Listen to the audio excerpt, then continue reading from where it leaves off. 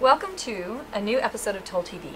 This this month's episode, what we're going to do is we're going to learn how to do a metallic gold underneath paint that's been crackled.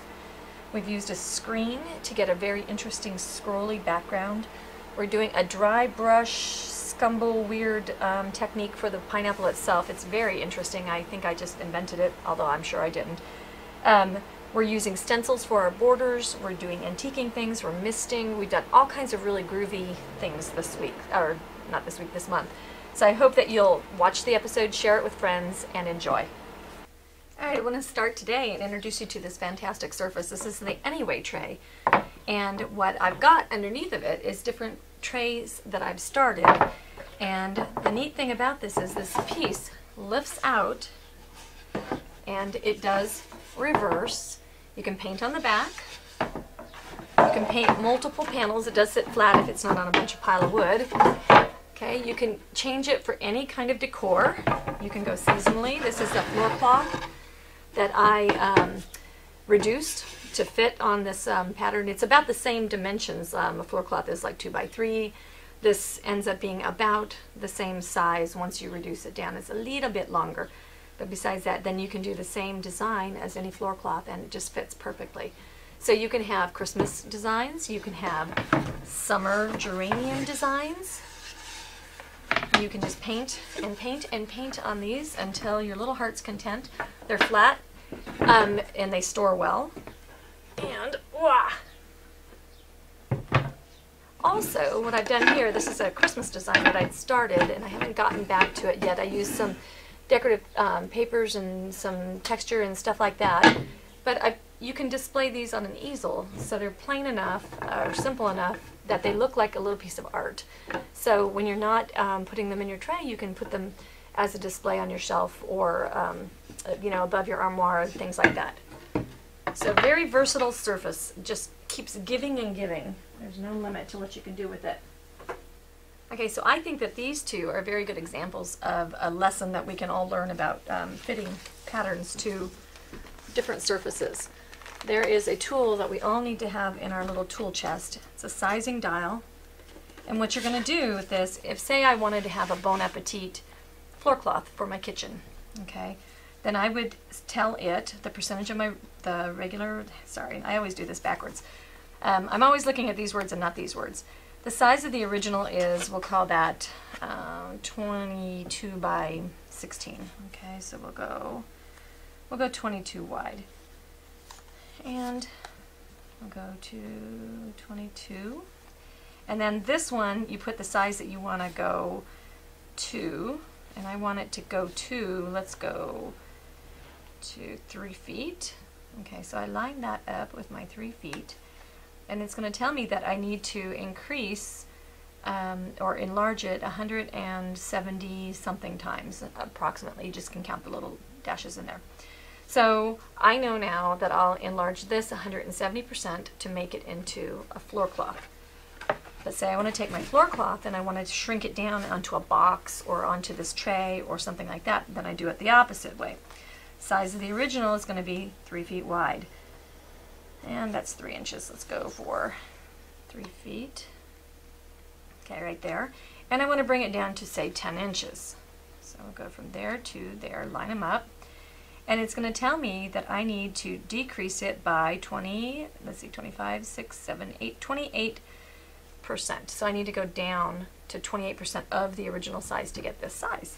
So it's very simple. I know um, I always invert my numbers and forget to read these. They're on the outside it says original size and reproduction size. It's very easy to follow. And so you just have to make sure that this wheel gets the original and this wheel gets the other.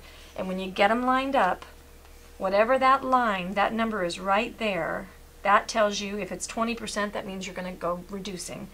If it's 140%, then you know you're enlarging.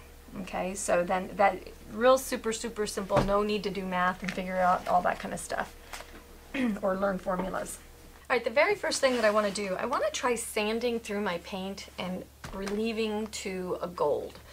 So I'm going to just choose um, regular gold leaf Um, gold leaf comes in many colors. There's copper, there's variegated, there's silver, there's all kinds of stuff. We even have the new metal powders that you can mix with a liquid. In this particular case, the leaf is what's gonna make me happy, and so I'm just gonna use the leaf, and I need some adhesive. All right, so I'm just gonna dump out some of the adhesive, and you wanna make sure to wipe off the rim because this gets real sticky, um, and it will make a big nasty mess. We want a stiff bristled brush, like one of these um, stencil brushes. And I know I'm gonna have a big fat pineapple here. Okay, so that's gonna be there, and I know I want to have two bands and have something stenciled here. So my areas that I'm gonna be able to see through are gonna be around, but I don't wanna frame it too much. So I'm just gonna go ahead and put some leaf around. Don't want it everywhere. You put this on. I'm just doing it nice and thick and real casually. You're going to want to remember where you put it though. That's going to be the trick. I think what I'll do is probably take a picture of my board and um, and then I'll know where approximately where stuff is so that when I'm sanding it'll I'll get I'll get lucky and strike gold as it were. Alright. So I think that'll be enough. I'm going to go wash my brush out right now um, so that it doesn't stick forever. Cleans up with soap and water. While we're waiting for this to dry, I did not seal this. You could definitely seal your surface if you wanted to. Um, use an all-purpose sealer. Um, if you're going to seal it, seal both sides to prevent warping.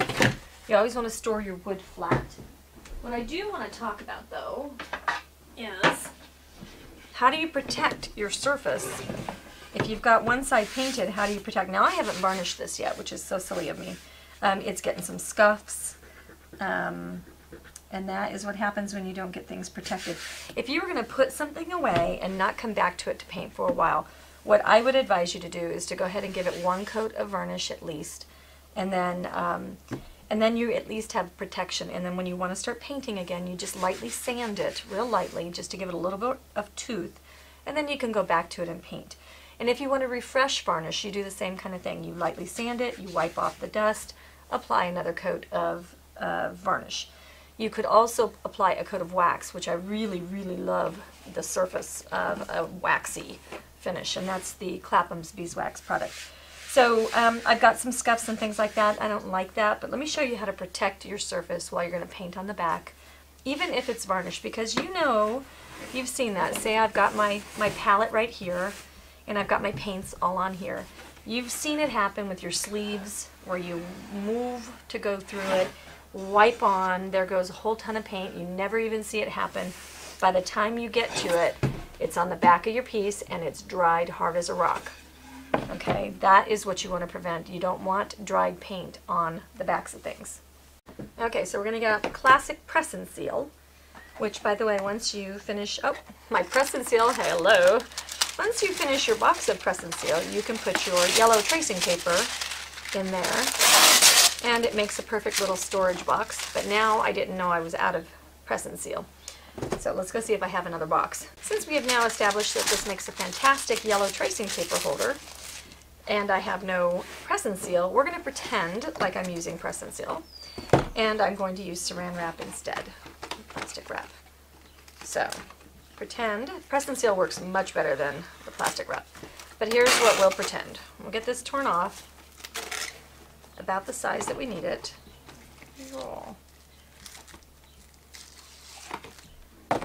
Okay, and then we would take our press and seal and we would just adhere it to the edges of our piece or even around the edge. And we would get it all adhered. You know how it sticks. We wouldn't have these flaps. You want to make sure no flaps. And then you'd do another piece if you needed it right there. Okay, so then you're going to have the whole piece. It'll stick on there until you take it off. But then you don't have to worry about wiping it through paint. Um, very fantastic way to um, protect your piece, besides putting a coat of varnish on.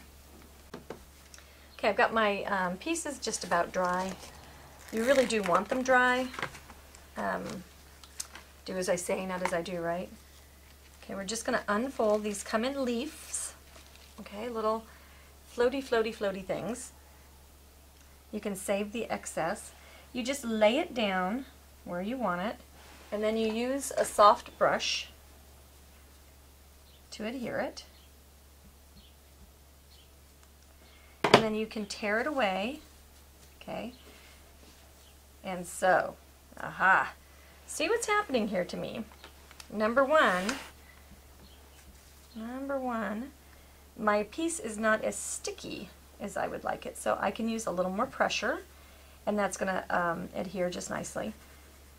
Okay. But number two, you can put a second coat on. That actually happens frequently. You need two coats um, very often with the adhesive for the leaf. So I just want this on there in a kind of a haphazard way, so I just want gold. So I'm just going to take my flakes and apply them here and there. Okay, and just make myself a little quilt of gold. I don't know, here's what I don't know. This may be a, a complete wasted effort, but I think it's a good learning experience. Um, this is how I paint. I try things. So when I put this down um, and then I paint over it, I don't know if I'm going to be able to sand on this. I may even go ahead and give this a little coat of varnish to help protect it from my sanding efforts. Um, but I would really love for this to show through the background. Um, when I get ready, I've got an idea of what I want to do and I've got an idea of the look. I just don't know if I can achieve it using the technique I'm trying. So I'm just going to go ahead and pop the leaf on, whoops, everywhere where I've got sticky stuff. And then they just, all these little extra pieces, you can put them wherever you can fit them and then wipe them off. You can save them and use them, sprinkle them on to um, another project later on if you're a saver. Okay, that should do that one just nicely. Um, the, the more you want things to be perfect, the more you need to use care. So um, in this particular case, I'm okay with just butzing it on there. Okay. And then I do want to check something out. You know that look where um, the look where you paint on gold leaf. I was looking at this last week with a painting friend of mine. And where they leave it on, it's over red. And we actually got these fantastic beginner leafing kits that have all the colors and all the mediums that you need so you can give it a try. I highly recommend when they put together sample kits like that to, to try it. Anyway, so I want to see if I lay this on here and then lay this on straight, kind of how that looks. That's kind of interesting. I see something like this in my future.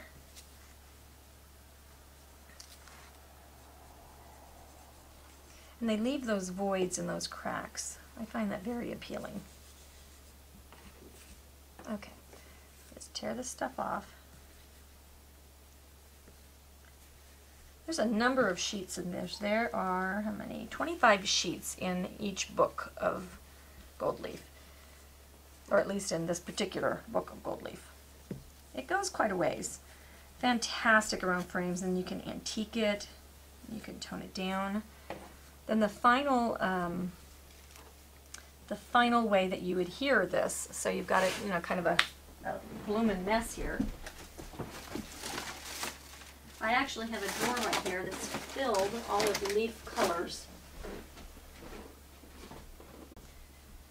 there are so many neat colors and you never know when you're going to need just the right color. Okay, so the way that you take this off is you use a little powder puff. It's got like microfiber and foam and that's how you're going to make it nice and flat. Just buffs the edge and it makes sure everything is adhered.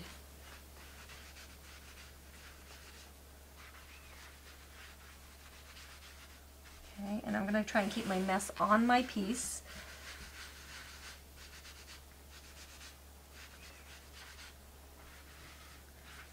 and then I'll collect it all to save it for another project. Mostly on there. Okay, so there's the leafing puff, and I'll go get this collected.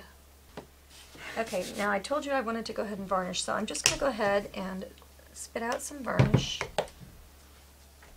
I'm going to use my varnish sponge. I've got a glove on to keep my hands clean and keep them out of the gunk.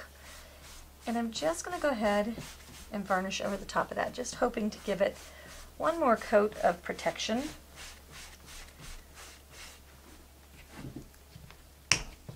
And I'll allow this all to dry. It won't take but just a minute.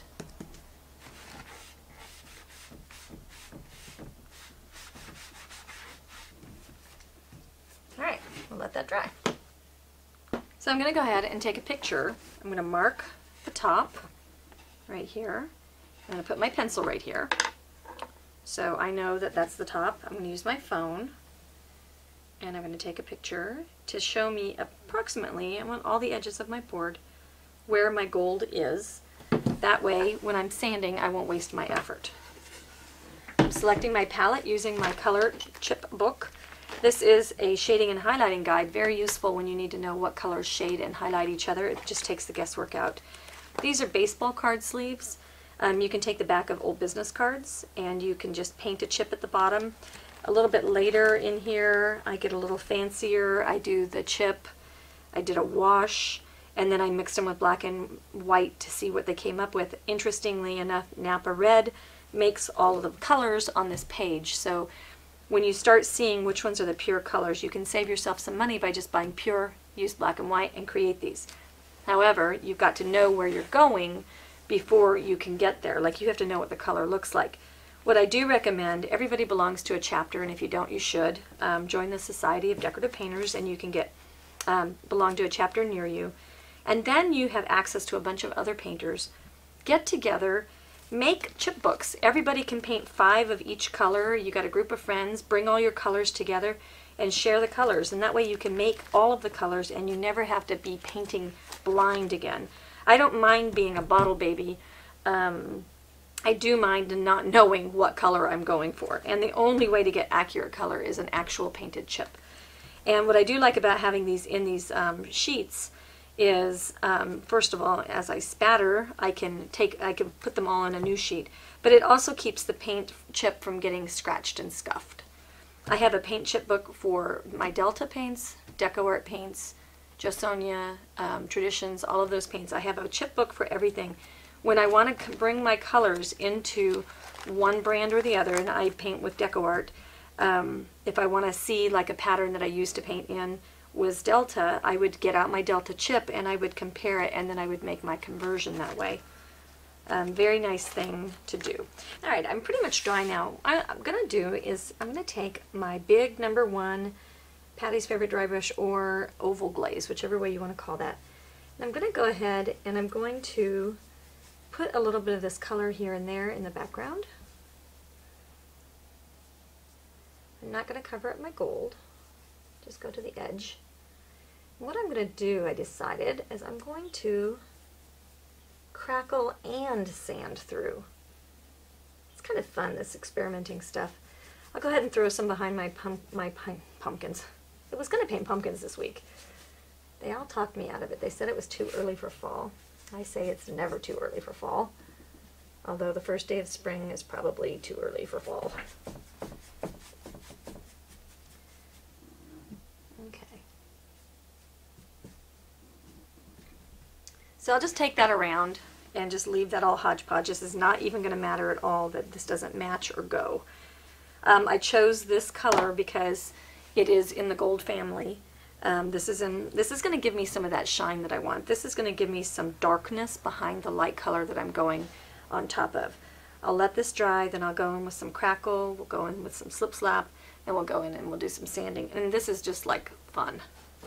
Okay, so I've now made quite an impressive mess, um, but we're not going to worry about that. That's the fun part, right? So I want to get out a wool sea sponge. I've had this sponge for a number of years. And what we want to do is I'm going to have to get it wet. And I want to show you this basin. Um, this is my giant number one brush. These first two have scraper things at the bottom. When you scrape your brush, you want to aim for this ferrule bit. Okay, scrape that off. But what I love about this is this is actually big enough to get my hand into and I have three basins. If I hadn't to put my dirty brush inside that basin, I would have had clean water there to load my sponge with if that mattered. So I squeeze that out, get a damp sponge, wear your glove because you're going to get messy. Alright, so on a glove. These are the nitrile gloves and you know I just threw away the one that I had just put on my hand and I think I've been using it for about six months so they do last for a very very long time. Um, and it doesn't matter if stuff gets on there and dries as long as it will dry. We're going to use weathered wood. We're going to do it a little bit differently. Weathered wood is a um, it is a, which way do I want to say it? It's not a chemical based, no, it is a chemical based crackle medium, which means that you can put it on this surface and a year from now you can come and put another, whatever it reacts to on top of it and you'll get crackles, which is really wonderful. Um, some crackles are time based, so you want to read your jar. Um, I think Delta's um, in particular has a weathered wood type product that is um, put it on within 30 minutes and it's a time-based kind of crackle process. I'm going to do this a little bit differently. If you take weathered wood and you go in a row, in a row, in a row, then you'll end up with weathered looking wood. It will crack in planks kind of and um, if those of you that saw the grape cask project when it was on the free preview weekend you'll see what I mean there. Um, it will totally make planks but I want to use it differently. I'm going to use my seawool sponge. I'm going to squeeze it out real good. And then I'm going to put the medium on my seawool sponge. And I'm just going to put some here and some there. Now with weathered wood, more is not better. You actually, to get bigger cracks, you want to put more on, more paint on it. So the heavier your paint application, the bigger your cracks. It doesn't matter how much of the weathered wood you have um, actually more can end up doing a weird gel thing. Now I'm going a little bit on my gold, a little bit not on my gold, a little bit here and there. And I, I want to just, just kind of see what happens by having this little randomness going on. And I want it a little bit to flow. I don't know if you can see with the, yeah, there you go. It's got a little shine. I got a little bit of it a lot of places. Okay. Now keep in mind, I've already said that I'm going to be um, sanding and doing some other things with this. I really want a kind of a, I don't know, I want a kind of an interesting background. I love backgrounds. Okay, so I'm going to go a little bit on my gold. Okay, there we go.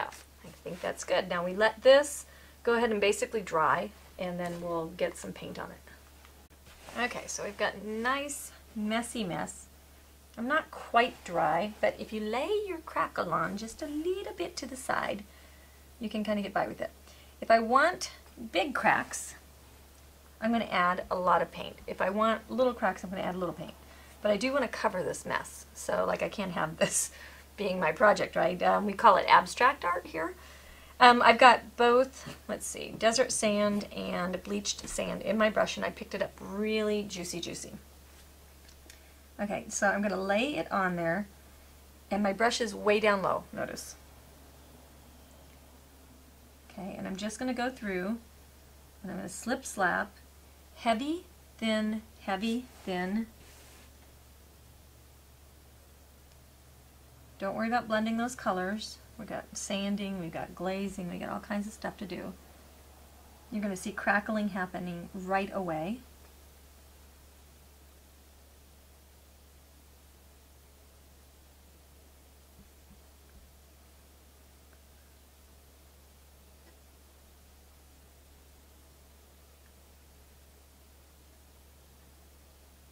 Okay, so I'm being real quiet here.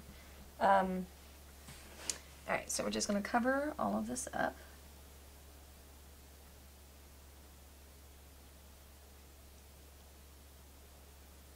Do some of it real thin so you get little hazing kind of cracks and do some real thick. Um, it'll be way more interesting. Don't let it drip over the edge and don't cover up your top and bottom mark.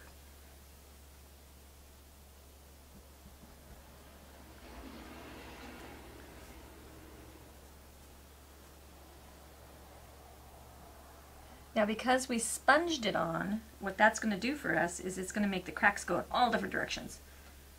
So we will not get a, now let's talk about that. Actually that's not necessarily a true story. if I went ahead and sponged that crackle on and I went in a row, in a row, in a row, I believe I would still get in a row cracks. So sponging it on and doing this slip slapping kind of thing is both going to get us where we want to go. Okay, let's see how unshook this is.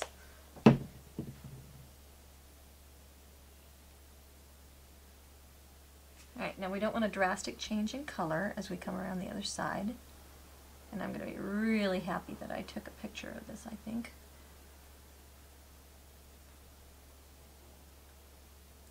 And I'm just laying it on, and there's going to be texture. And texture is wonderful. We love texture. Don't disturb what you've done. If you disturb what you've done, then you will end up with um, you'll pull it up in sheets kind of. It's really not attractive. Okay, I'm just going to continue on to the other side here. Notice I'm not blending it on the palette. Kind of going every old which way kind of action. Okay, I thought you probably didn't think we'd ever get to a stage where it normalized.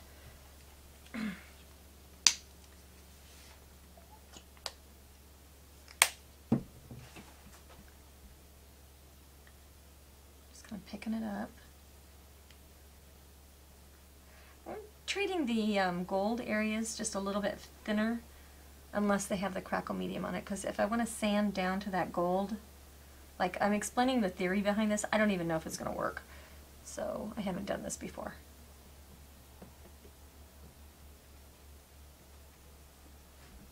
But if I keep my paint thinner in the gold areas, then my theory is, is that I should be able to sand it off easier if I want to.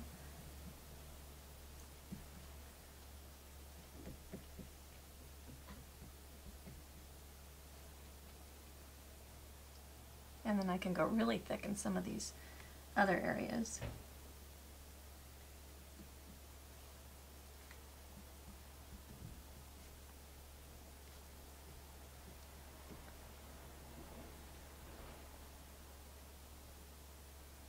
Ah, see, I'm touching it. Leave it alone. And go back afterwards and you can fix all you want because then it won't, won't lift.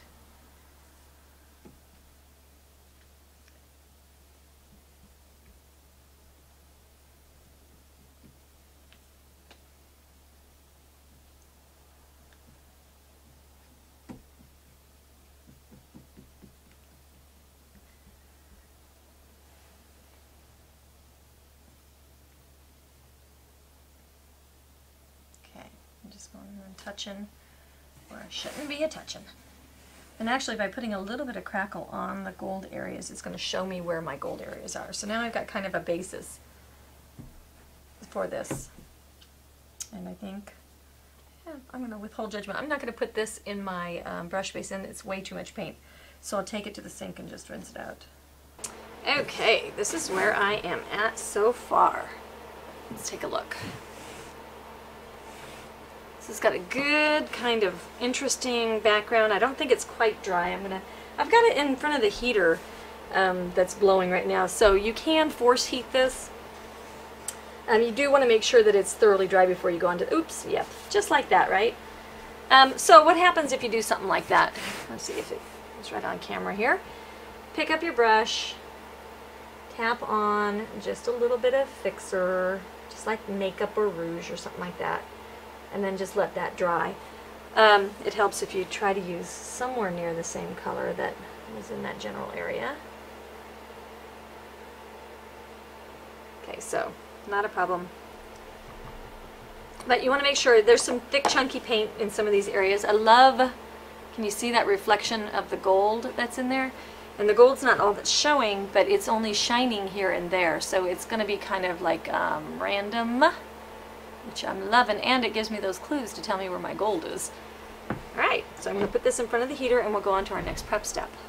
Okay, so I want to put a screen on the background, and in order to put a screen on, what a screen is, a screen is a relief of um, a stencil. So it's the part that would be cut out of a stencil, but they connect it all together so that it stays together. Now what I have here is I have um, one of our glass mixing palettes, and I have put Tack It Over and Over again on here, and I've used it to death. You've seen it in a bunch of videos if you keep up with all the stuff I've got going on. But what happens if I was to put this down and try to roll on it, then it would wiggle and move and I'd end up with tack it over and over on all sides, which really wouldn't be that big a deal because when you put paint over it, it's going to negate that. So I'm going to stick this down on this. And I'm going to use my little foam roller. And actually, I'm going to go get an older foam roller. While you can wash these out with water, um, they, they tend to go downhill a little faster than your roller normally would. So I'll start with an older one or one that I've used for tack it over and over before and then I can abuse just one. Honestly, when you start making this mess, um, you should do a bunch of these all at the same time. Um, it's not really messy, it's just um, sticky, you know? So I'm going to put that out on my palette. Once you have your roller wet and all that, that's kind of what I'm meaning. I'm going to apply this to my roller. And then I'll come over here to my mat and I'm just going to put a nice thin coat evenly across. See how nice that is? Nothing's lifting. I don't need a heavy coat because I really don't care if this is super duper stuck on. So I'll just make that, tack it over and over, go a little bit further. Now what I'll do is I'll wait until this turns clear and then I'll pull it up and then when I pull that up, um, the mat will still be sticky. It'll be sticky again in a new place. Now while I'm waiting for the mat to dry, I'm going to want to put this in to something so that it will stay um, not drying because if that gets dry then it will not be good for us to use. You can heat set this stuff. Um, you're going to want to tack this onto like cloth or clothing when you get done. Um, and then it will stay sticky. Now this is what I've learned. Um, a lot of you have asked me a lot of questions about tack it over and over. We sell hundreds of bottles of this like every week. So this is a product that everybody should have. You should own this product. But once this is sticky, it's like sticky. It's not going to unsticky. Let me grab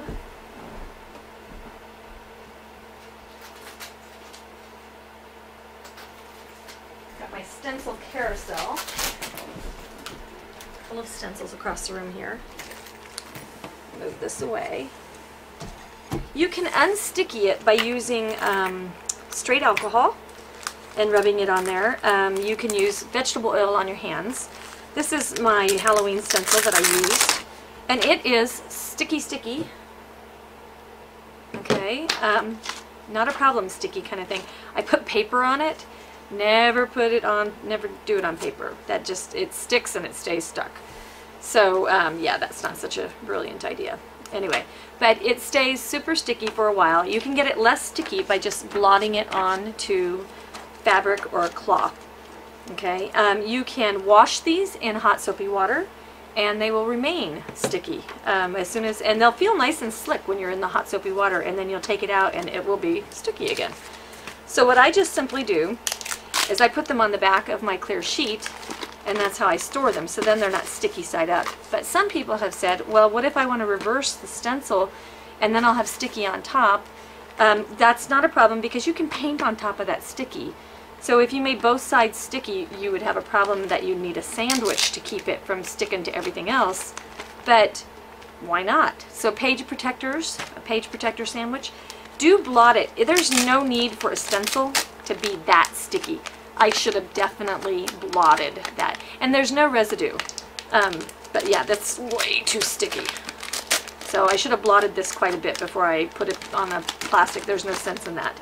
Um, and then I laid the sticky stencil on my paper. Hmm, don't do that. Anyway, so I've got these on both sides. And I just store them on there.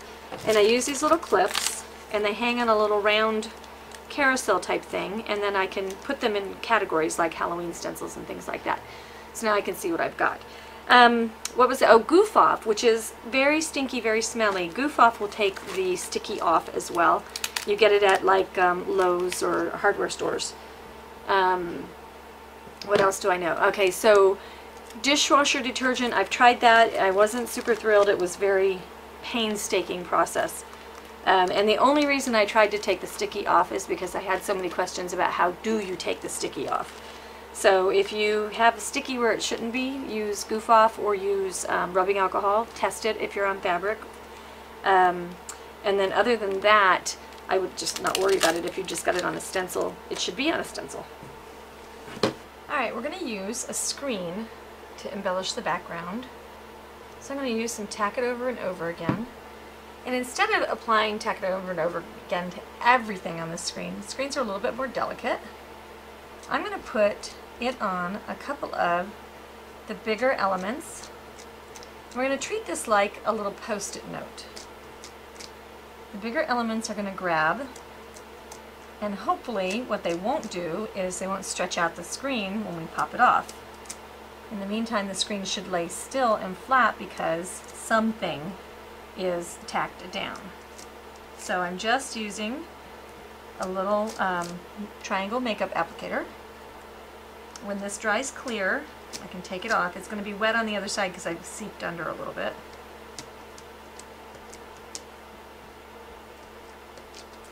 One thing that I have noticed with um, screens, wah, screens that have a lot of scrolls and squiggles, um, is the scrolls and squiggles can kind of corkscrew, and when they're stuck down or whatever, they can pull and stretch into an odd shape. So you want to make sure that you don't um, put undue pressure on your screen. Like you don't want to rub it and scrub it in the sink and stuff like that. Just soaking in hot soapy water ought to do ya. Okay, well we're waiting for that to dry. We're going to mix. We're going to do a mister. Let's see, we'll trade places here with this thing. I really need like 12 work tables with a bunch of cameras set up everywhere. That would be ideal, right? So I can start one thing and go on to the next. Need that Emeril Lagasse kind of thing going on where we have, um, you know, people in the back with their dishes already baked and stuff. All right, we're going to get some milk chocolate. You have to start darker than the color that you think you're going to need when you're using um, when you're using mistits. And mistits are a misting tool. Hang on. Got a little mixing cup here. Okay, and you fill it with water. Okay, and you fill it with the paint color that you want. And so we'll get our palette knife, put our paint color in there, and then we'll get our water. I'm just going to reach into my brush basin, fill that up with some water, and then we're going to mix it. Because we use so much water, the color doesn't end up being as dark as we think it's going to be.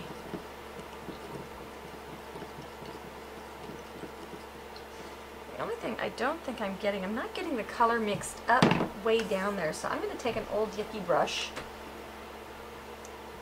and I'm going to flatten that color. That's why I've got it in this little mixing cup. Paint doesn't like to let go. It really thinks it wants to be in a blob shape. Which is probably how we want it. But, let's see if I got that. It's not wanting to emulsify with my water. Okay, now I shall fill this up over my brush basin. Leaving the heavy chunky stuff in the bottom. And it's a good idea to test, whoops, test on a piece of paper or something. See what your color is going to look like. Yeah, that's nice and dark. Okay, so the misting techniques go like this. If you want to get in just one spot, you just squirt right there and it's going to be heavy. If you want to make it misty and dreamy, you do it as you're running by. You move your arm and squirt. Okay, the heavier the amount of paint you have to water, the darker and stronger your mist is going to be.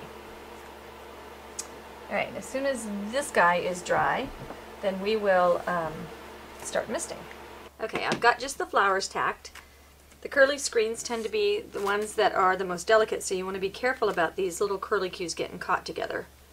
Most stencils, you don't have to worry about that, so I know we're all a little bit new with screens. So I'm going to tack down my big flowers, make this thing just be like a big old post-it note so it won't slide off, see? Now I'm going to spritz the spray over here on my palette. I'm going to spritz way up here at first. Don't want this to get so dark, and I'm not sure that my background's going to be light enough to really show up. We're going to see. We'll spritz more in the corners and the edge, like an antiquing kind of look. Now, of course, we're going to have the pineapple right there, right? Okay. We're going to have all kinds of stuff going on on the edge, but we'll go ahead and give it some mists. Um, good idea, table protection, right? Now, I'm going to hold down a flower, and then I'm going to lift one of the flowers. Okay, this is where little pliers come in handy, I guess. Oh yeah, that's kind of neat. Okay, I'll lay that back down. I'm going to go ahead and give it a quick blow dry, or you could just let it sit. You want to be careful right here. I've got it a little bit pooly. What you can do if you get things pooly is just go ahead. If Say you even get it too messed up. Just go ahead. I've got a damp sea sponge. Give it that texture, and you can blend things if you want to. So you don't have to just mist. You can mist and sponge and do all kinds of groovy stuff. If you wanted to rub over the, the whole stencil, then you would want to make sure that you put the Tack-It over and over on everything because if I start rubbing on this, um, they're going to do a little dance.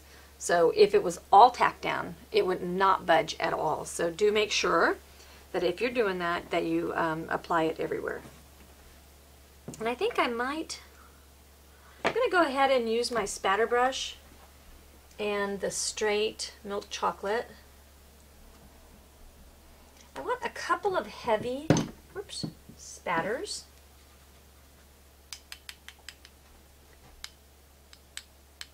See how that just lands right there, right on the edges. Just a couple of interesting heavier spatters. What I like about not having everything on the screen showing up is this means that the whole pattern isn't going to be very distracting. I just really do want something that's going to give me a little bit of background interest. I'm not looking to say, here's a doily of flowers. I want interesting, odd stuff back there. Okay, I'll let that dry and then I'll lift. Okay, here we go for our reveal. If I can get the thing off of there.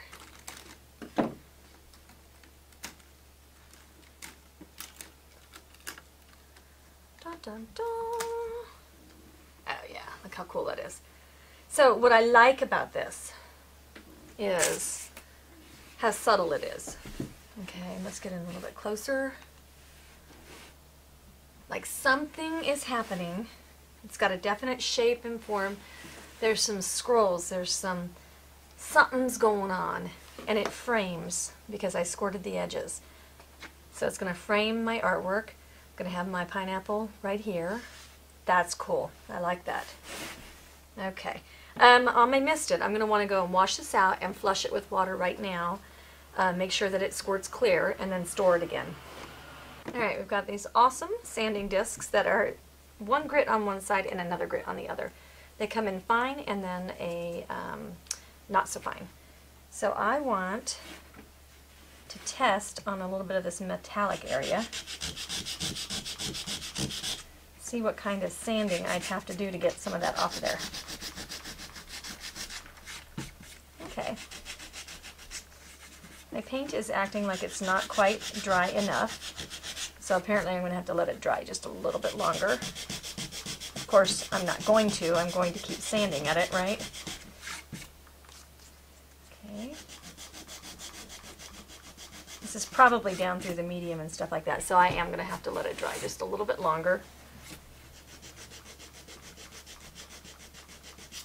And then sand on through. Alright, I went ahead and tried sanding through my medium. I'm not quite dry. As a matter of fact, when I push on this, I'm getting a little bit of sticky action. So I'm going to need to let this cure probably overnight because it's thick, thick layers. I mean, it's it's mostly dry, but at the same time, eh, it's pretty thick.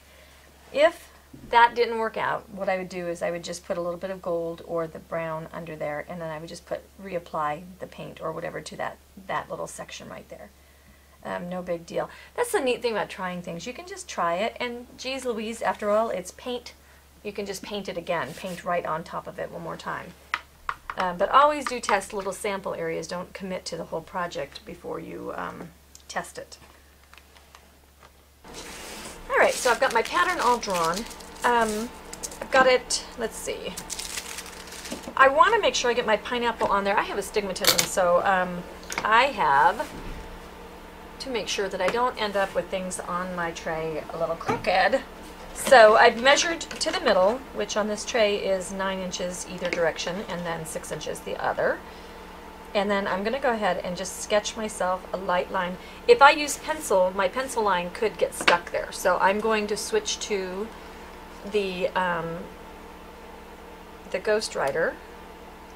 And the way you operate this, you push in the thing and the leg comes out. It comes in gray, which is a graphite color, but it is, these are ceramic leads. It comes in pink, gray, green, and white. Oh, and yellow. Okay, so um, these, brilliant, brilliant, brilliant, and they have padded handles and they erase with varnish, um, water spit um, erasers. So you don't have to worry about your lines getting stuck on there. Alright, so I'm going to put myself a line down the middle. And then I folded this to kind of proof it down the middle, and I'm going to line that up. I've got my middle here marked, and I'm going to line that up with my line to make sure that I don't have a lean pineapple. Okay, so in theory, now I've got, okay, in theory that should be fantastically correct. I'm going to tape. This is the best tip I ever, ever, ever heard or saw. And it works like a champ. Um, I'm going to tape my pattern down, tear a hole in the middle of that, and then you tape across that. And now I can lift and peek. I can squinch from side to side and everything manages to stay straight. If you tape it at the top, things end up getting wonky and you don't want wonkiness. And actually, the um, this is the Triple Threat Ghost Writer. This has a rollerball stylus that doesn't have any ink, so it's like a pen, a rollerball ink pen without ink.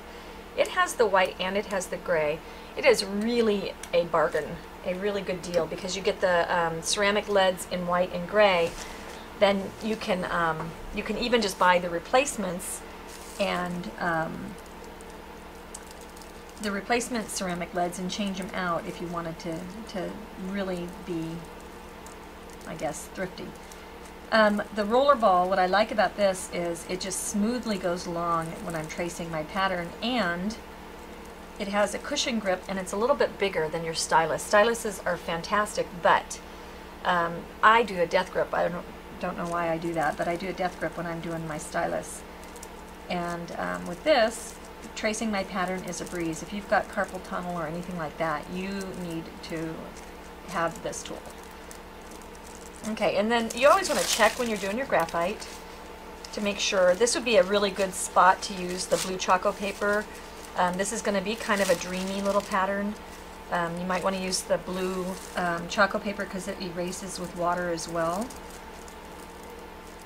You know, that's certainly, this is old, old, old, old graphite. Never throw a piece of graphite paper away um, because the older they get, the better they are as far as um, you can use them in like on spots where you need really faded paper.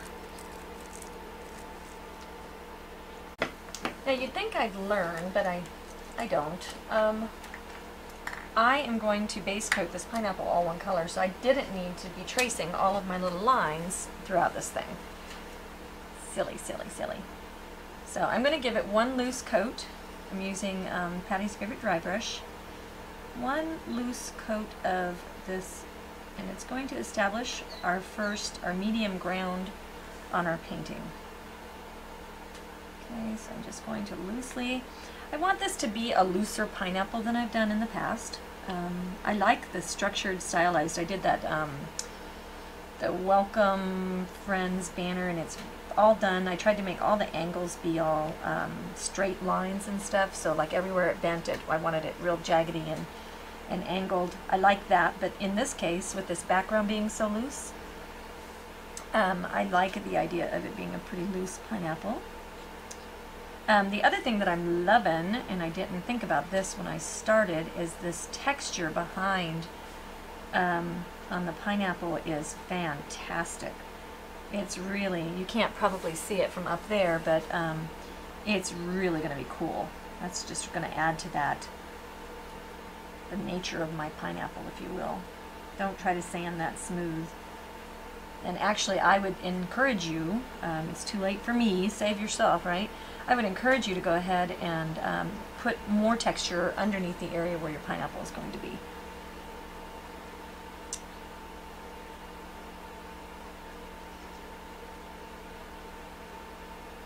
Go up here, look at our pattern.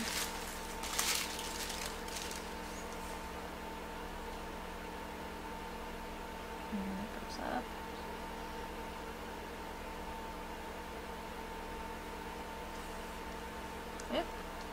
Stay in the lines. Okay. And, okay, that gets eaten up by that. Okay, so that's, and actually, you know what, not so bad. Um, I can see my lines. Um, I haven't tried to conquer or kill them, so they're just a little bit visible underneath, so that's going to work out awesome. I like to work from um, the base coat forward, so I'm going to go ahead and base. I'm, I'm looking for balance as I paint. Um, if I painted all of one thing at one time, like if I painted the whole pineapple and then I tried to balance my leaves, I think that that would be a little bit awkward. So I am going to use um, Hauser medium green. And what I'm going to do is I'm going to mix in a little bit of my background color. Um, I'm going to mix in a little bit of desert sand. The reason for this is I think that that Hauser green is a little bit screaming meany. Um, I'm not worried about this gold because that's really in our family, but I just want to tone the Hauser green back just a little bit. See, now that's going to settle down just a little bit. It's going to go with my background better. So it's just adding a touch of it in there, and it's um, kind of like almost like a mother color. Um, mother color is considered a color that's in every other of the paint colors. And this is, once again, I want it a little bit hairy. I'm using a ratty old dry brush. I want to encourage myself to have a little bit of that almost dry brush look. I'm going to use shape following strokes. I'm going to let things fade out as they go near the edge. Even though my lines are crisp, I don't want a crisp pineapple. Okay, so I'm just going to treat all of these as different parts of the painting. And see, I think my green is still just a little bit on the bold side, um, but I think I'm going to be okay with that. I'll just treat it in the painting as part of the part of the issue, if you will.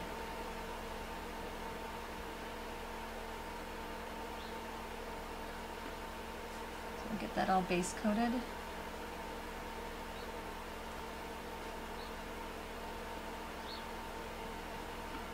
shape following. Somebody's missing part of their leaf here. Didn't the pattern on, I don't think. And once again, that um, texture is going to really help with the painting, I think. And really, the spots and stuff are showing. If I don't focus on base coating it really like a solid base coat, all of those spots are going to help create um, depth in my painting. Okay, so just treat each section separately. I see people um, stressing out about base coating quite a bit, and it doesn't need to be that way. I guess some patterns do, but it doesn't, I don't think it needs to be that way. So dry brushing, I'm looking at um, some of what I'm seeing when I'm base coating this, and I'm seeing a little bit of a dry brushing kind of a look, although Dry brushing is usually where you use the background as the shadow color. And that is not what I'm doing here at all. Um, but I'm seeing a little bit of scratchiness. Here, let me show you. Get you in a little bit closer. Okay, see my scratchiness? Actually, what you see too is you see my line straight on through my piece. And now that I've done and put this on there without trying to work it, I'm going to have to cover that up a little bit. How silly, I didn't notice it way up here, so now I have to go a little bit more solidly.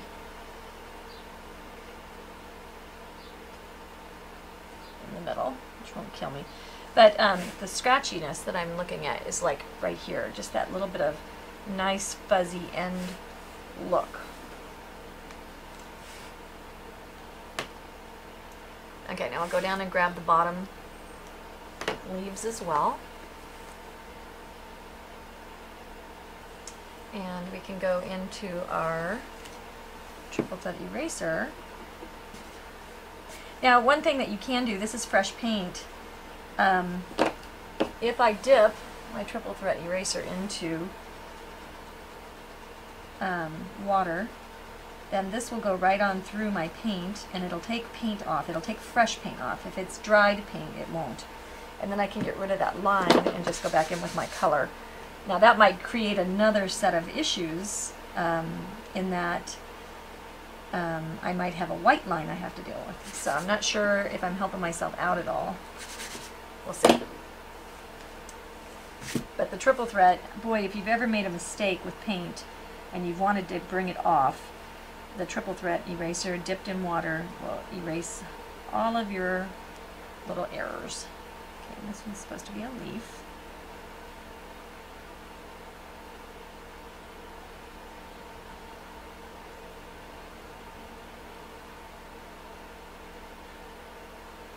Mostly, I think that the um, if you did something like that, yeah, I don't like how those two are hugging each other. Let's um, go in and make this one come out a little bit.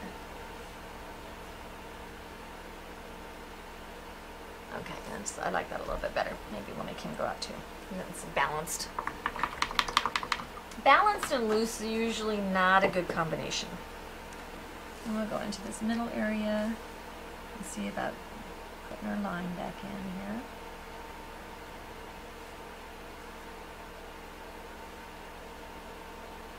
Okay.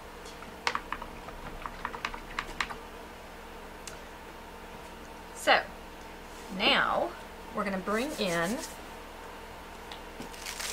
got to bring in a little bit of our green.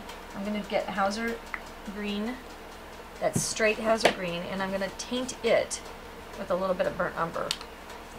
Because I don't think we want this green to be on here too straight right now. So I'm just going to take in a little bit, just a little touch of umber, actually a little bit bigger touch. So maybe, well, it's still going to end up being a touch because that's like 12 to 1. So that's still just a, a little bit. All right, so get a nice neutral green. I'm going to get out a round brush, any old ding dang diddly round brush. And we're going to go into our um, our green and we're going to kind of go sketchy. So you want a round brush that you've kind of trashed a little bit. Let's sketch out these um, little sections of the pineapple, whatever they're called, the, the scales almost.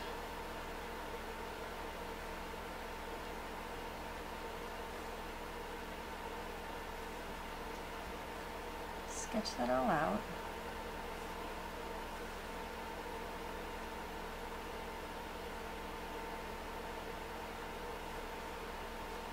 Real loose.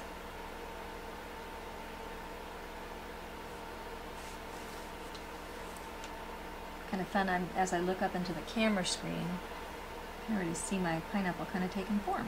It's kind of fun. So far, I don't think that any of you would say that you can't do this. It's a very user-friendly the technique. I think the biggest thing that people will have to deal with when painting loose is that tendency that we have that we have to follow and stay in all of the lines. um, that is our enemy.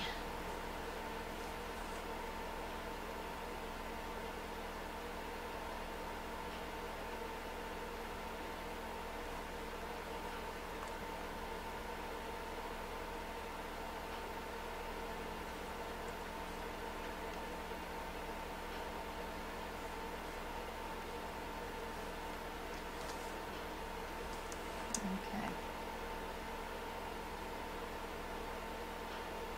Get these last little here.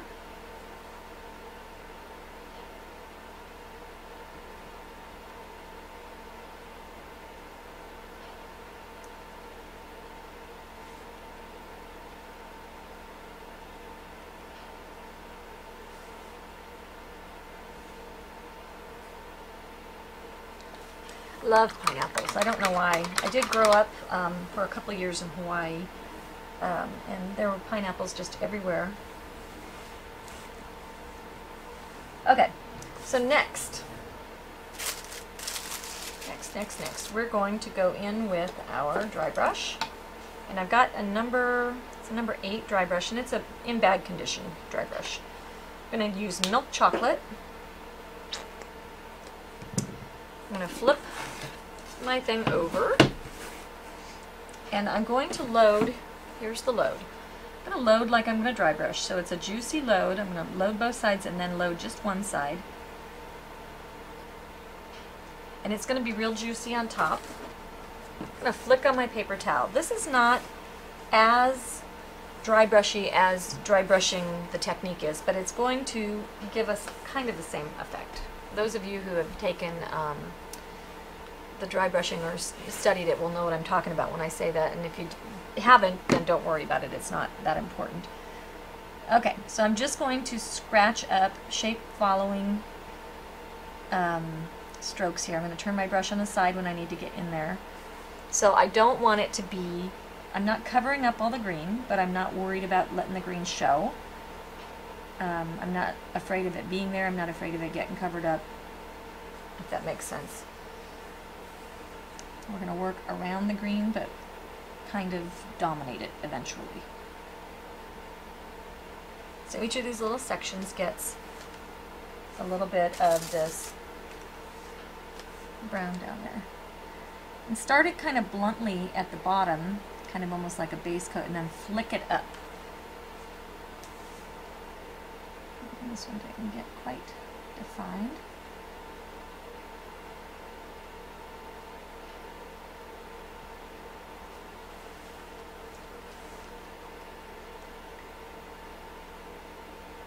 Totally a different technique for a pineapple than I've done before in the past.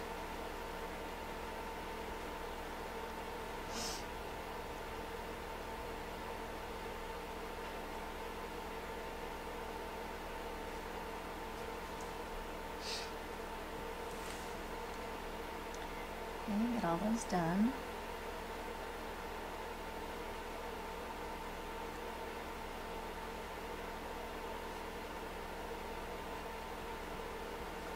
Okay. Like that. Okay, now we need to go a little bit deeper. And so we're going to go into milk chocolate. And we're going to choose one side or the other of this. Did I already just do milk chocolate? I just did milk chocolate. So we need to go into burnt umber.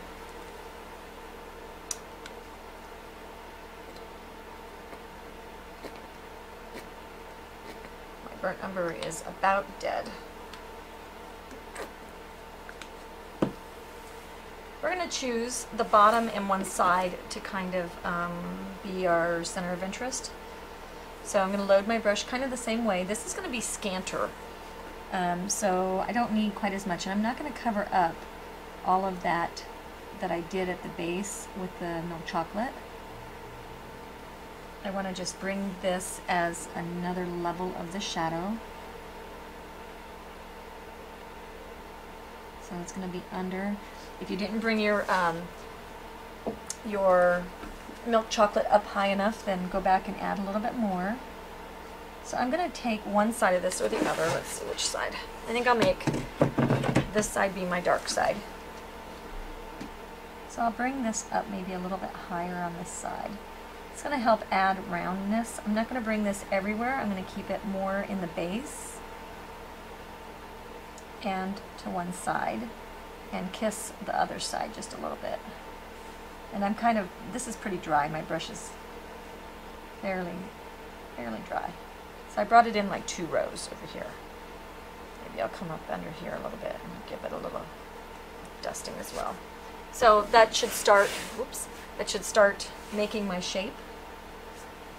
I'm going to go back and add just a little bit more where I really want it to settle in.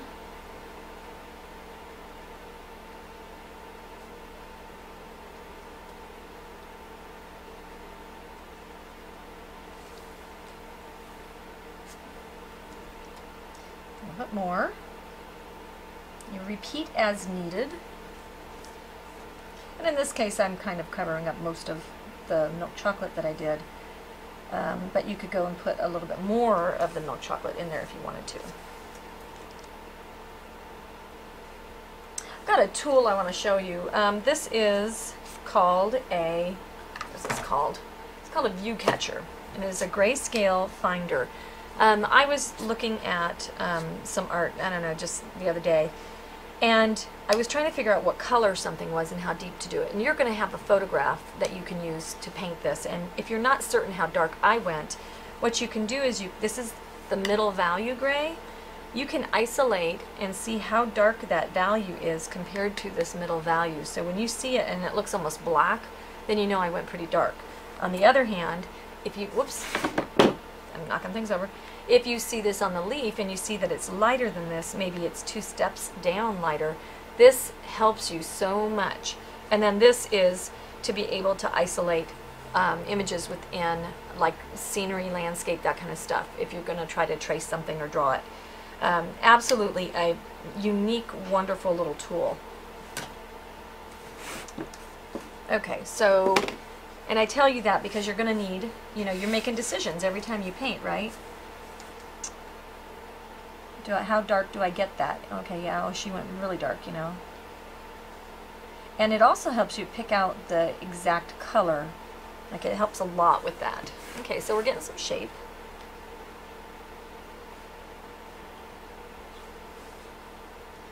And we'll go ahead and kiss in just a little bit, and just barely, barely, barely, barely, barely. Okay. We'll go way down at the base Way down just deeply, darkly, stinking in there, sneaking in behind. It's a scumble scumble motion, right? why don't we go ahead just to round that bottom out.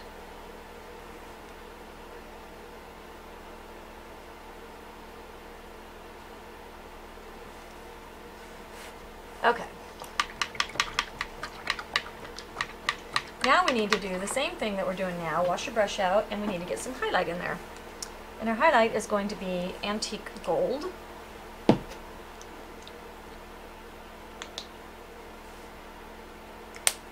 Alright, so we're going to load that kind of the same way, not too, too, too, too terribly juicy, um, but just load it flat in your brush, flick on the paper towel, and we're going to come up from the top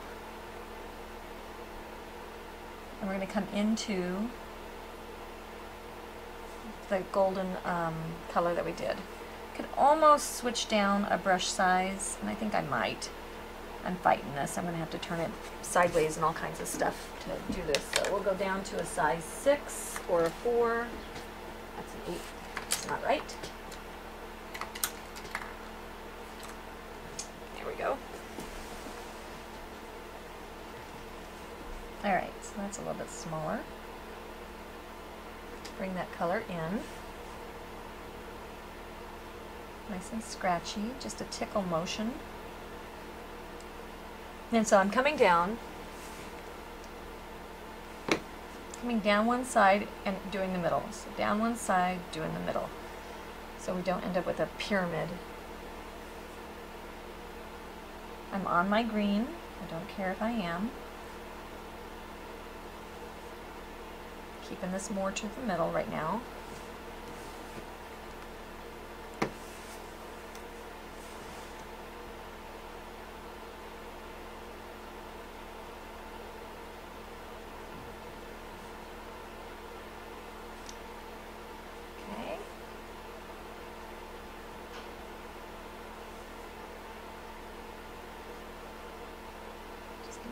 sides over here. Don't get too much into this the um, dark area. But you don't want to stop abruptly either. Now I'm going to go dirty brush into this um, desert sand.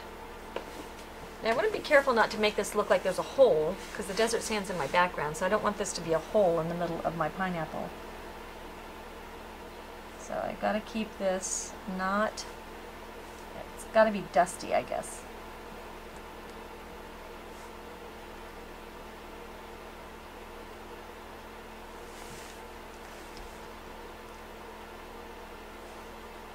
I hope some of you that are sitting there and you think, oh, I couldn't do that or whatever, are getting that this is not hard to do.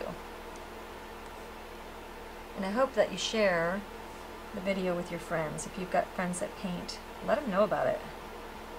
I'd have killed or died for, I probably wouldn't have done that. I'd have done and paid a lot to get lessons like this online when I was learning to paint.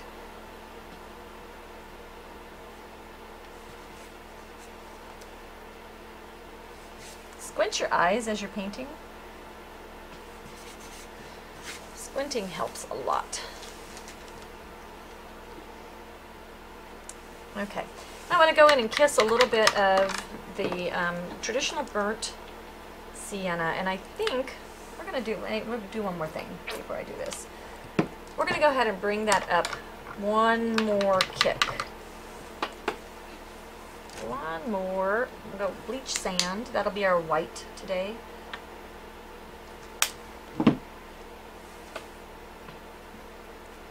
Okay, so load my brush. Get it a little bit scratchy looking.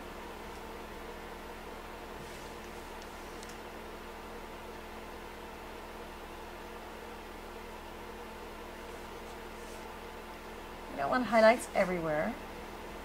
And we don't want to, that's really quite white for what I've got going on here, but I have a plan. Bahaha, right? Okay, so now we'll go into, use our number eight dry brush. Make a wash out of the traditional burnt sienna.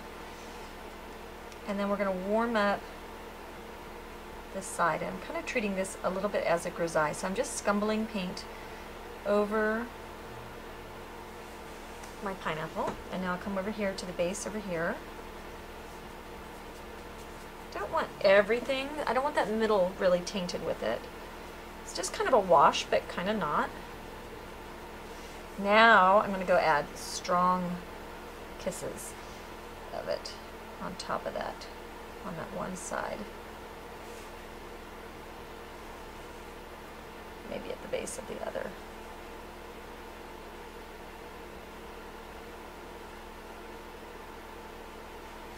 Okay, I like that. Okay, I've got marigold out, and I'm going to make a wash of marigold.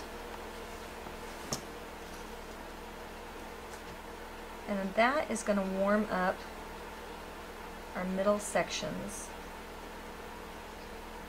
And see, what's neat about making a wash out of something is it's going to warm up what's underneath of it. So if I go over here into the dark area, it's going to warm up the dark, but it's not going to cover up the dark. So I can warm it up and change it without dominating it. That's what a wash will do for you. See why I wasn't too worried about the line being in the middle there, huh?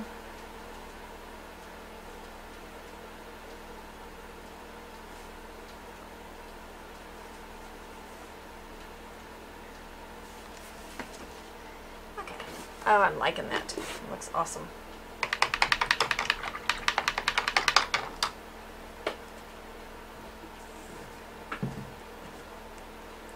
All right. Let's see what else we got. Let's go up and start working on our leaves. Leaves are going to be a little bit fun. Okay, we're going to go into maybe evergreen first. Evergreen is a little bit on a neutral kind of level. Um, it has almost like it's already tainted with a little bit of toning, so I'm not going to have to worry so much about toning this, I don't think. And we'll let the jury be out on that one. Okay, the very first thing I'm going to do is I'm going to underline my leaves where they are, and I'm going to kind of dry brush into the background where they are flipped. Okay, so where my leaves flip and they go under other leaves, I'm going to dry brush or kind of just flick paint into this where they flip. And this is actually going to help you um, see, maybe you can't see, huh? Um, see how the flipping happens. So we'll just underline everything that's flipped. We'll line. Once we get the flips on, it's much easier. Okay, where are we?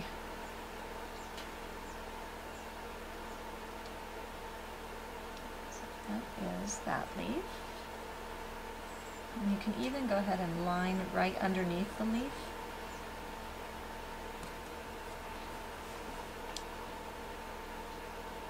Flips are confusing.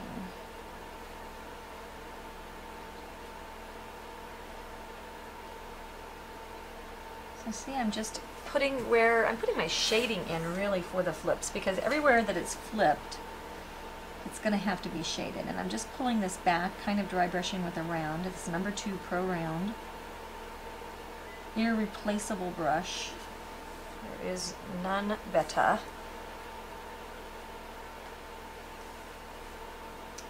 Okay, so this is this brush, this leaf going over this. So I'm going to go ahead and just bring down some of this. This is curved. Bring this down too.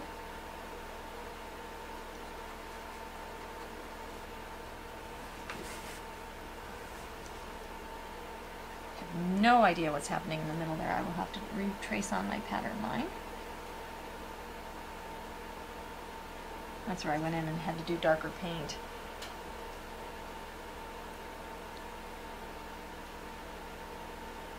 Shape following strokes. No straight strokes here. These little guys up here are little like, um, I almost get the feeling like these are leaves, almost like a tulip leaf they, um, you know, where they have that little curl as they grow out. I don't know if that's a true pineapple form or not, but I'm not going to worry about it. So this one is flipping, like this will make him jangle out a little bit.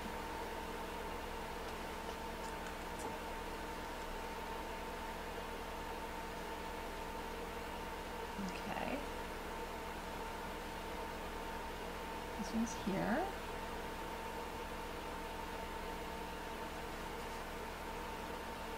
This one's on top.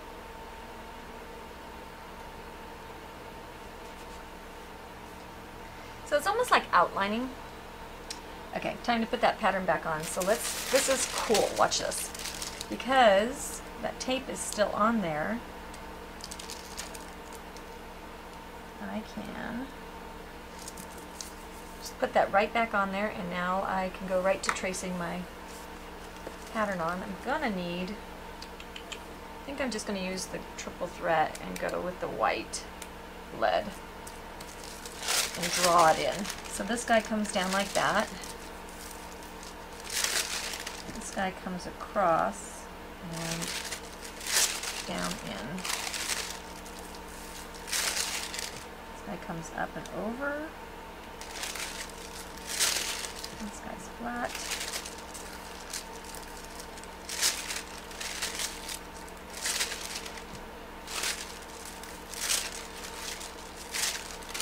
All right. There we go.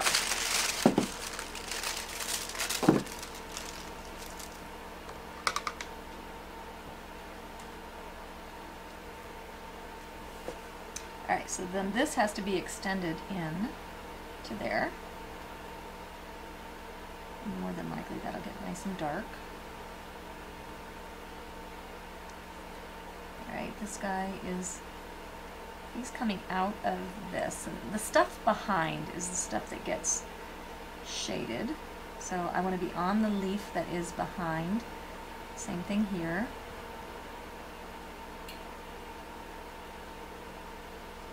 Shape following. Okay, this one is behind here. And this one is behind.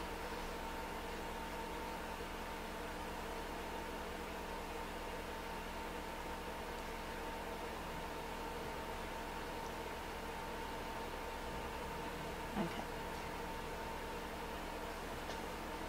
Alright, I think that's basically where I need to be. Now we'll start really shading. So we'll get out our number six. Patty's favorite dry brush. Cheap brush, guys. Um, I think seven, eight bucks, something like that. They'll last you and last you, and when they get all worn out, then they start making great stipplers. So um, you'll never ever wear the thing out because it'll always be useful for something. All right. So now what I'm going to start doing, I'll start from, we'll start from the bottom. I'm going to start shading underneath, just doing that same technique that we did down here. Getting things dark. And then I've got to shade where things go in front. So I'm going to flick shade up. And in this case, most of this should be pretty dark. I'll just go ahead and give him a little bit of a wash. This guy crosses over that guy, so we need to bring this down in. And then it's always going to be dark from where things grow out. So we need to make those things dark. Draw down some shadow. And if that becomes mostly kind of ish green, we're not going to worry about it. This gets dark behind because this is, you know, coming out from behind those things. So I'm shading the tops and the bottoms where they come out of the middle. Bring it up kind of high, not really high, but kind of high, because then we have to deepen it, right? So this is floating without any floating. This is just brush flicking floating. So you don't need to know how to do all kinds of fancy techniques.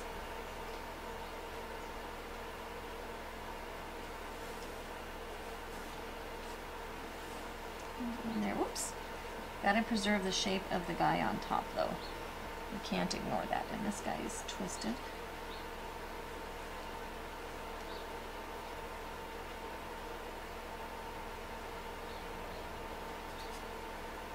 Okay, so he gets darker because he's a really twisted little leaf.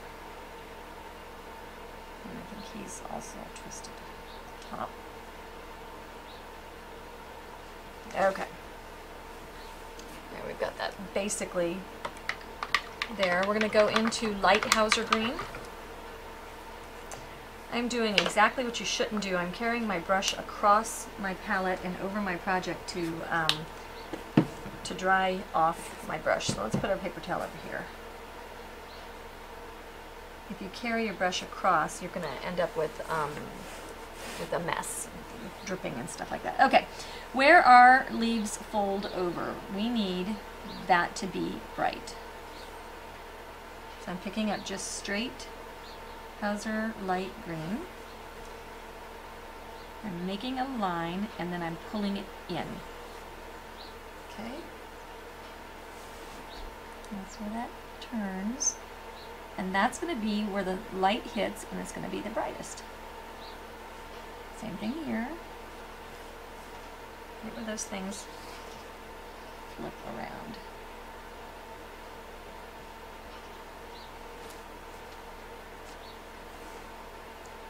Right next to a dark where it's shaded behind. And we'll treat it fairly evenly. And then up here, where next to the flip, not in the flip, just kind of tip these guys a little bit.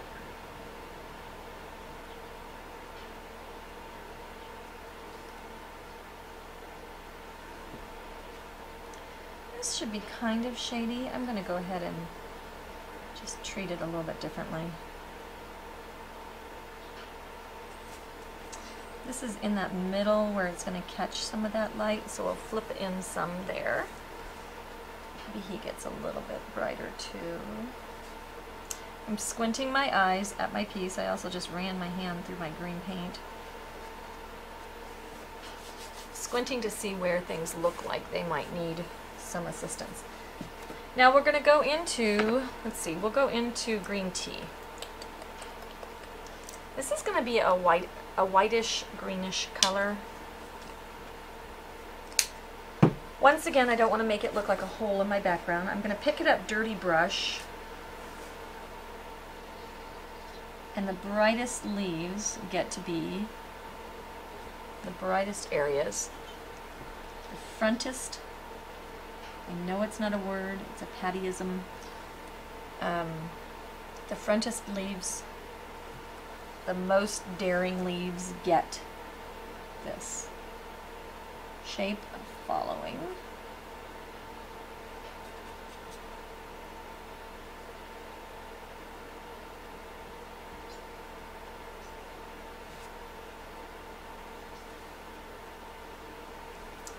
Okay, so just right where they turn and then right along the edge. And then we've got to balance it, so I'll go up, quit running my hand through my paint. Up here at the top, we'll go ahead and give it a little bit of a kiss of that color.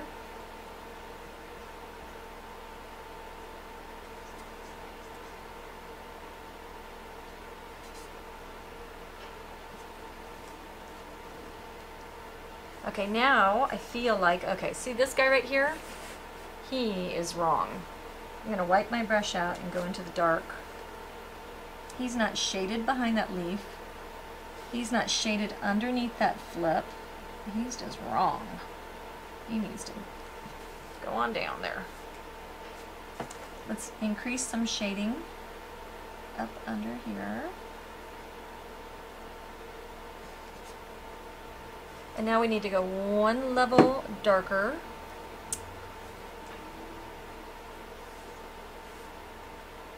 Alright, so we've got one area here where everybody is alike right in there. So we'll go back in to our lighter greens and we'll kind of give this little leafy poo a leading edge of lighter.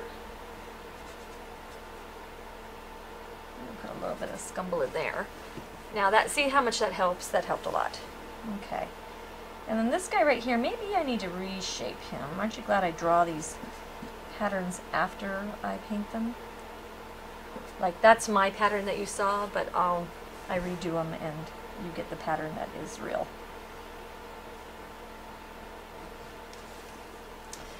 Oh, he didn't get any. All right, now I'm going to go into, and don't do this dirty brush. Um, I just went into black green with a little bit of that green tea on my brush and that was a mistake because it made it into mud.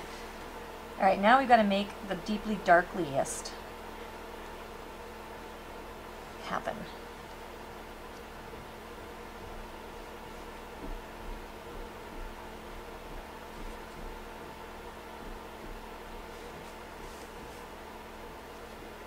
I think this would be a fantastic floor cloth. You know, I love the Anyway tray. I absolutely adore it. I think I'd want a set. So now see how we're just deepening that and it just gives depth to it. Ooh, it's dark in there kind of, you know.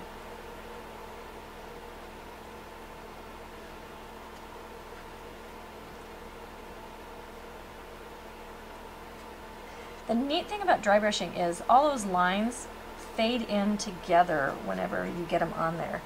Um, they don't, they look like a bunch of scaggly stuff and then you put them in and it's like, whoa, hey, I can't see where, where it's just only lines. This is all the dark areas. Getting very dark under there.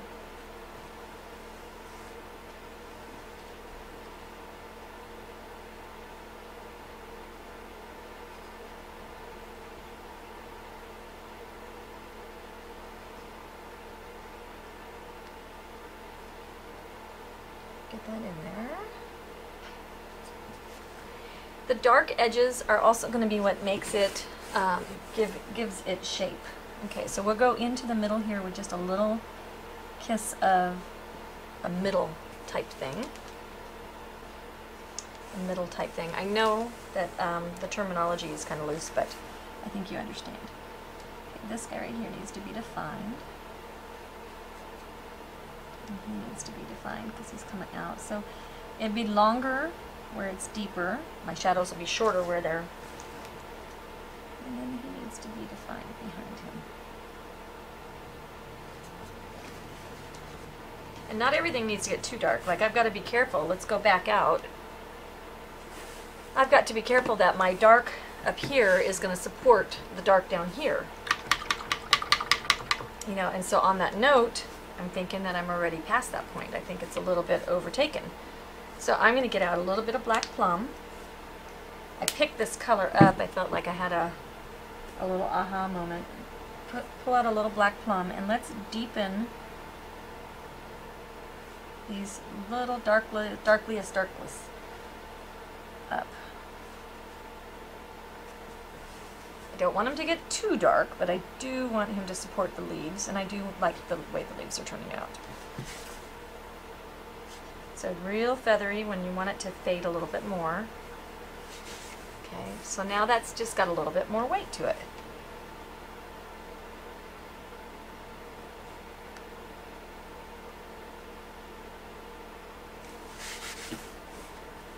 Awesome, love it. Okay, but now we could use, our leaves are a little bit washed out, so we can use a little bit of our antique gold. And we're gonna go in where the sunshine's kissing stuff. And we're going to kiss a little bit. And because we're not base coating and we're not floating, what is happening underneath will show through on top. So it goes together better.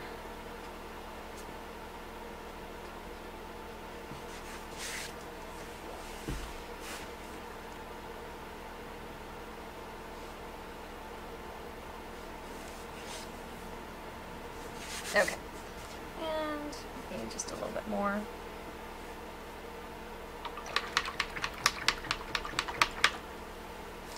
And we can go in with our, um, what color is this? Desert sand.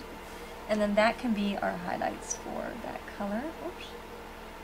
Really respect the, um, the line of the leaf. That's what's going to prevent it from getting misshapen. Like it really is a line, you know. Blah.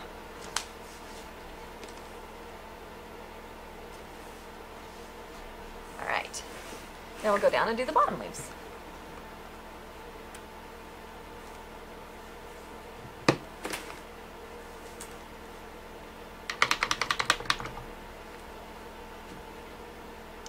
Same kind of thing. We're going to go in with our evergreen.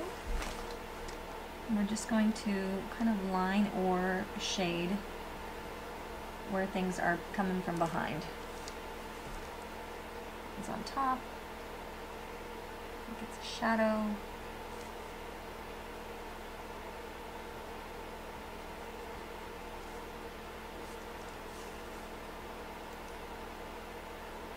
I've heard people say with these dry brushes, I'm watching how I'm how I'm using my dry brush, and I've heard people say, oh, I can't use a brand new brush and get it ruined. Well, you've got to have a brush. This brush has the stiffest bristles for putting up and making scratches. It has just, it's got the right cut and everything like that. You've got to do this to a brush, otherwise it's not the technique. So um, don't look at it as ruining a filbert brush. Look, think of it as using a dry brush the way that it's supposed to be used. Okay, so these just get a little less attention. I don't want too many bright moments happening down here. Um, because if there's too much going on, then it would be, I don't know, distracting, I guess. We are going to go ahead and highlight just a little bit.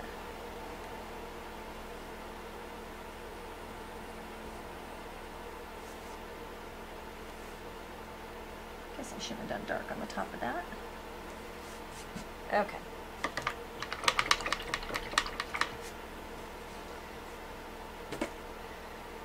Now we need to do a little bit more detail on our pineapple. Okay, flip this guy upside down. I'm going to paint it upside down. I'm going to take milk chocolate and a teeny bit of water in my brush. It's going to be a liner brush. It's a number two, it's not a liner brush, it's a round. It's number two round. And we're going to make, and don't start this right where you um, start it someplace off to the edge or something. We're going to make those little things that stick up. And then you throw your brush into your paint. Okay, we're going to load a round brush, number two round, into thinned, slightly thinned um, milk chocolate. We're going to make those little things that poke out of pineapples. And we don't want them all the same. So we'll start on the outside edges. And we'll just make it a little bit pokey looking. And these little guys that are in the middles, they get to kind of come up like this and kind of tickle them in That's what's going to give the impression that this is that hairy kind of looking pineapple.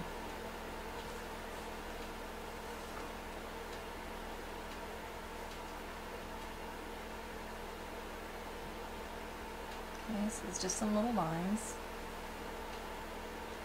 I'm freehanding this. Um, if you need to trace, feel free. It'll be on the pattern.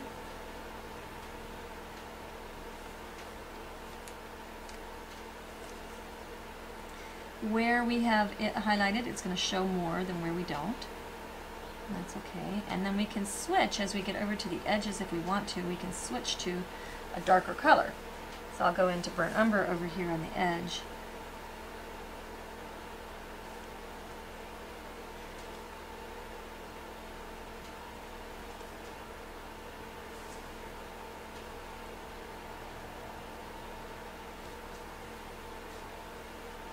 And then we'll add a little bit of the umber, tickle it in.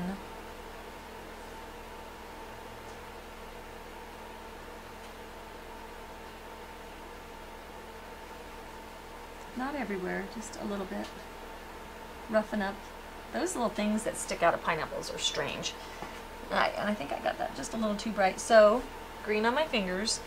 I'm going to try and find a clean finger and just rub them down just a little bit. Set them down.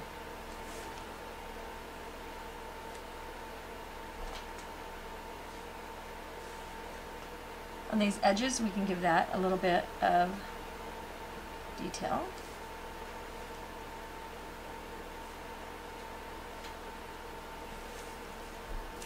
Okay, now I'm going to flip mine upside right so I can kind of see what I've done. And I think we can use um, the dry brush, like I made good points. Go into the number six dry brush and a mix of burnt umber and milk chocolate. And I'm going to just feather that down where they come out of the base.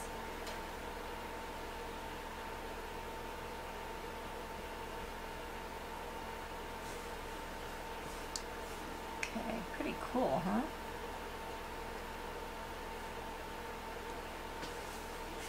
Awesome, love it. Okay, about done.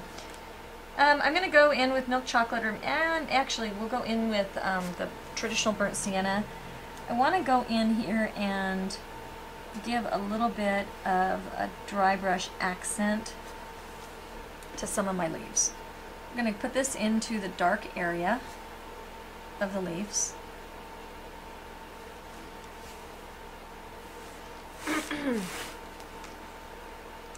and even a little bit to the outside edges.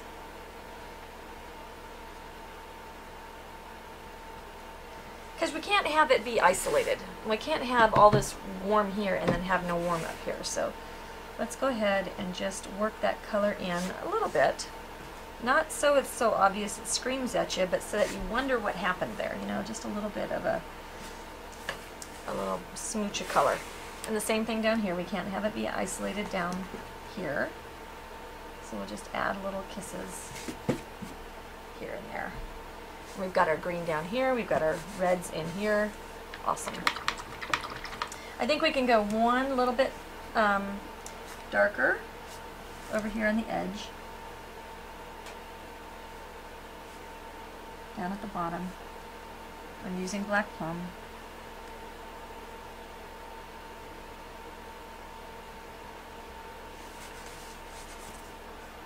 Bringing it up the side. And maybe even underneath here. This should be a little bit darker than it is.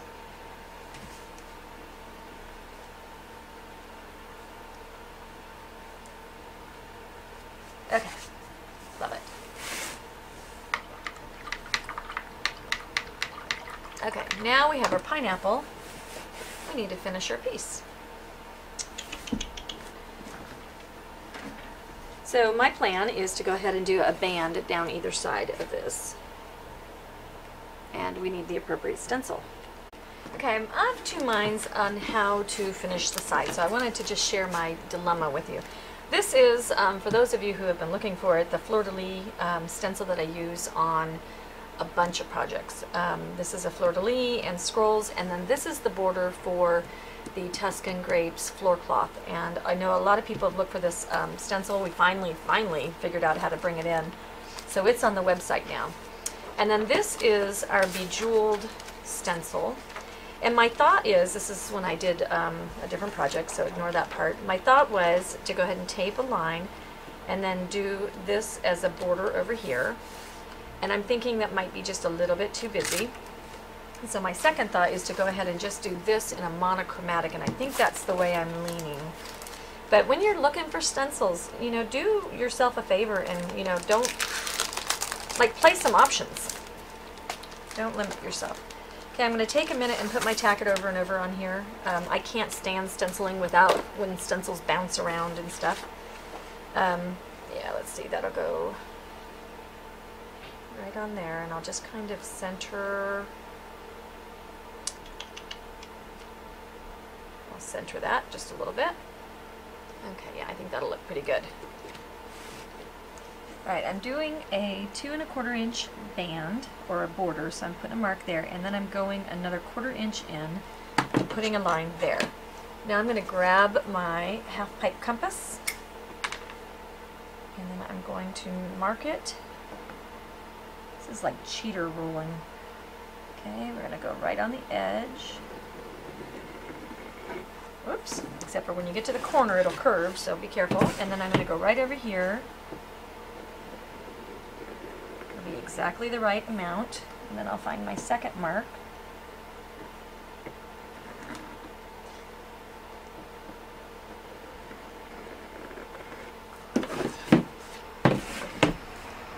You can fit the 8 in 1, the 8 in 1 leads in this my lead is popping in.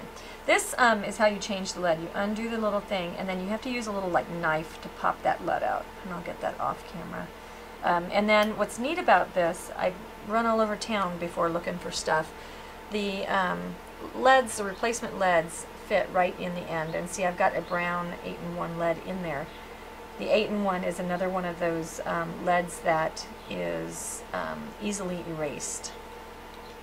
So you can look for that online. All right, so I've got my lines. I'm going to get my tape out. I'm going to tape with blue painter's tape.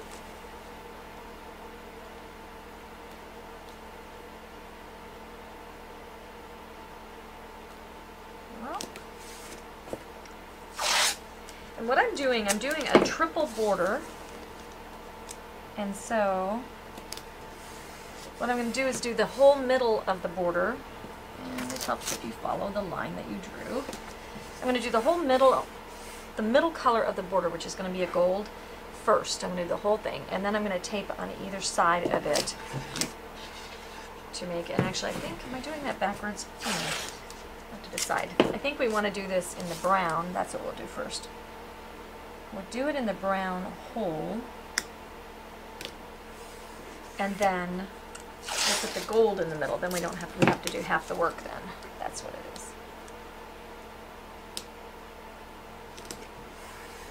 When you tape, you want to um, ah, tape your thumb down. You want to bray it down with your thumb. And did I get a little wider over here?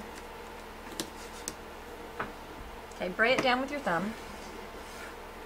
And then we'll use our makeup applicator to apply the paint. Alright, makeup applicators are indispensable tools. I'm going to go into, um, what color is that? Uh, honey brown? Let's do honey brown. I don't think I have it out on this palette yet. Yeah, that was the base for the pineapple. Let's go into honey brown. I don't want this stripe to be too, too, too, too dark. Although I don't want it to blend. Yeah, let's go milk chocolate. Because I'm going to have the gold in the middle of this. I think the honey brown will end up being the stencil. The neat thing about the makeup applicators is they don't suck up paint. So what that means for you is um, it doesn't bleed under.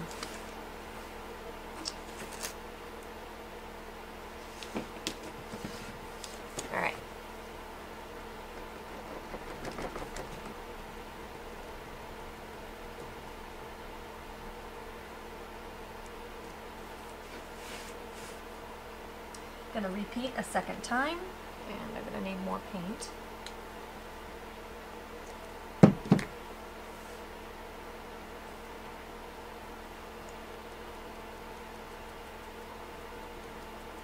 It dries almost instantly because the paint is so thinly applied.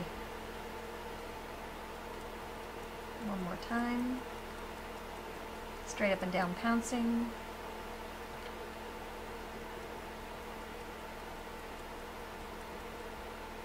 Okay, and then immediately pull your paint, your tape. Always do it immediately, as soon as you can. Alright. Repeat on the other side. I don't think we need to show that part twice. We'll go over here and we'll lay our stencil down. Kind of centering scroll work in the middle. Let's see if we can get something that's... hmm. Okay, well, I'm centering these footballs. I'm going to center the whole design. I put this down when my paint was still wet. It's kind of silly. I'm looking for even placement. Even against here, you could measure that. This is where your um, your little self um, centering ruler. It starts at zero in the middle. Is a real good handy tool to have. You can see through it, so you can see to measure. All right, so we're going to use our paint, um, our makeup applicator again, and this time I'm going to need a fresh one because that's got dark color in it. They don't wash out super well. So now I've got um, honey brown, and I'm going to go ahead and I'm going to lightly stencil, and then I'm going to peek at it. That's the nice thing about see-through stencils is um, the really sheer ones. You can see to replace your stencil down and stuff. I have to say this stencil has been such a classic. I've been using it for like 10 years and it has not let me down yet. It's a really good design. Okay, so we'll look there and see, and it's just kind of nondescript, isn't it? I don't think that really does me any any favors. Let's go and replace my stencil. And we'll go up one color and we'll go into the brown.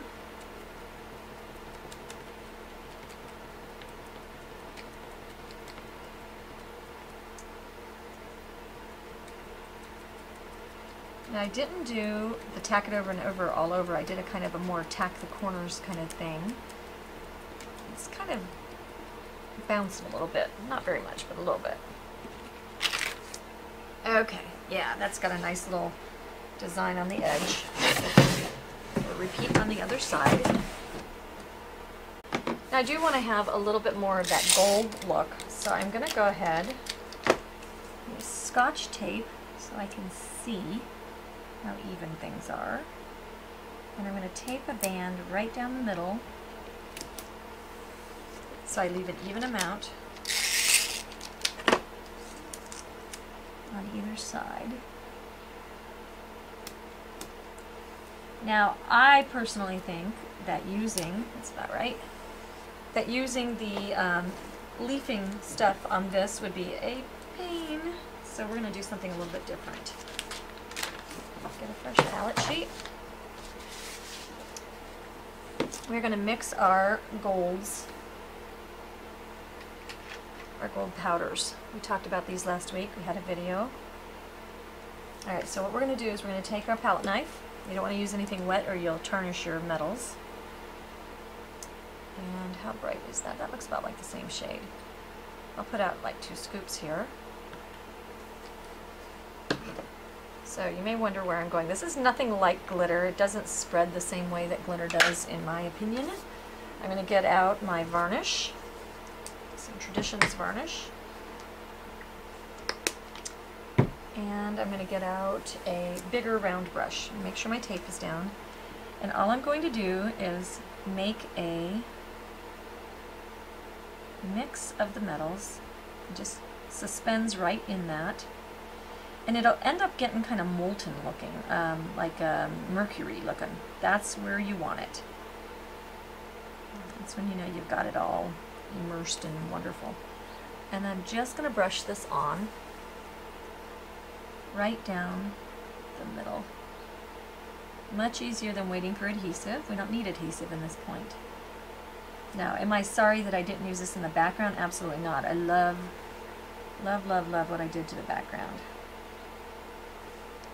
Okay, put my brush down, take that off, and now I have a triple border of real metal. I don't know if you can see it reflecting or not.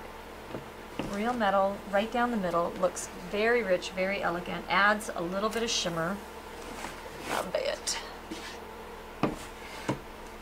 Uh, and picks up these gold fantastically. I love it. Right. Alright, now that I've got that done, I almost wonder if I shouldn't have done a green band, but I'm liking the tone on tone and the green can be a solitary color.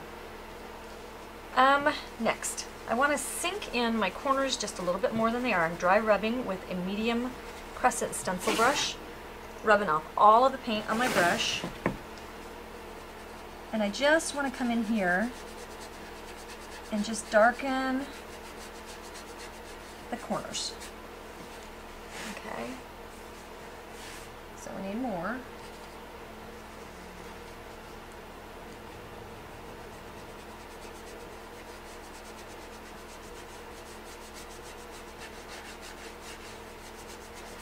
Round it around there. Yeah, that's much better. It's the easiest floating anybody will ever do. Try rub the corner. I rub with pretty strong pressure after I do the initial soft kind of rubbing motion. Okay, so see what a difference that makes to have that little bit of corners done. Absolutely makes it a different project, I think, altogether. I think I'll probably go a little bit darker. So now I'll deepen within what I've done. That's going to make our detailed background stand out a little bit more.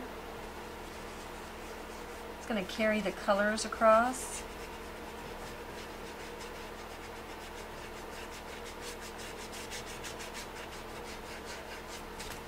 You can close your eyes when you do it. All right, repeat on this side. All right, I like the way that looks, and I think I want to put a little bit of this color on this outer edge over here. Nice thing is I can try just a little corner, see what I like. Yeah, I like that.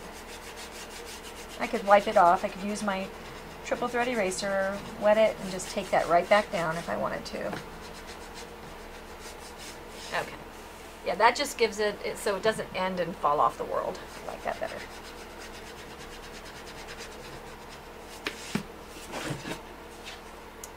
Okay, and repeat.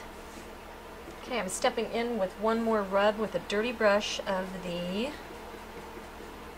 yes, the color is knocked over. Traditional burnt sand, just in the corners.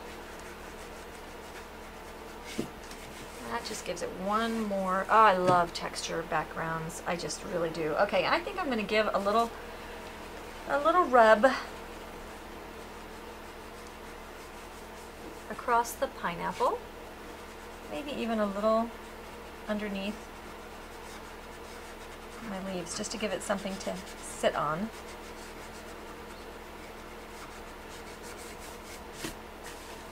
Okay. anchors it just a little bit.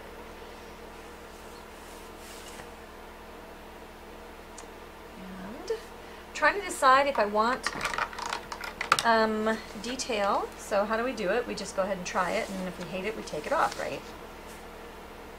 A little umber.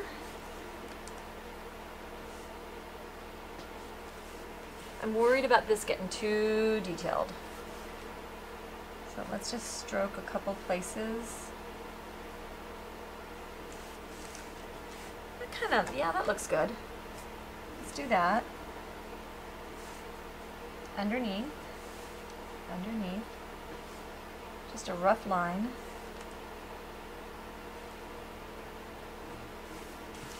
Gives it just a little more pop. This side's a little blah, this side's kind of cool looking. And do we want to go ahead and do all the lefts? Maybe so. And I think on this side I'll reverse it and do all the rights.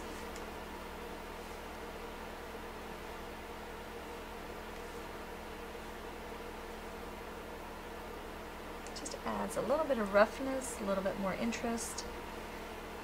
The rough, the left sides of all the elements.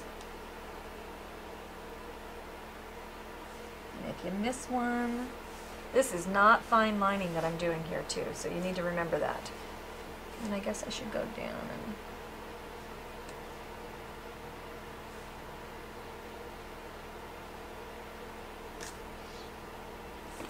Okay, next we are going to spatter with our White Wonder brush and thinned um, plum. Remember spatters carry everywhere. I stand up and I back away. I want my spatters though to land in this general area right here. So I'm going to anchor and I want them off of this area. So I'll get out Q-tip, spit, absorb, awesome. So I'm pointing my brush towards the corner.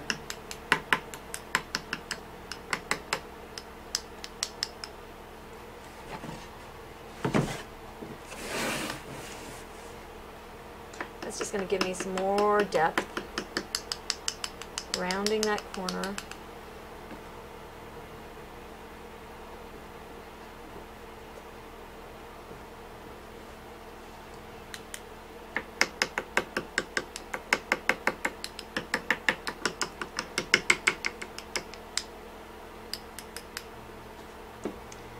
And clean off.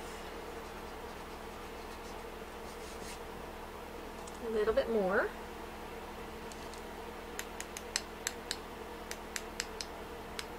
Kind of want some drippy big blobs down here. Remember, this is where you need to know about the backside being protected, because if the backside wasn't protected of your piece, then you're going to run your piece through these wet dots. So you want to be careful of that. Okay, I think we might just be there. Okay, we're of the opinion we could use a little bit wider green over here. I'm just gonna bring out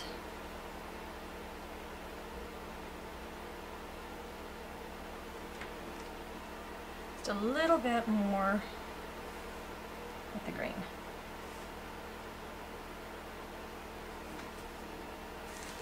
I think that frames it just a little bit more. Go into our dark green.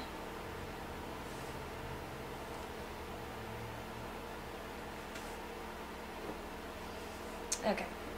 And it kind of brings up the scrolls in the background.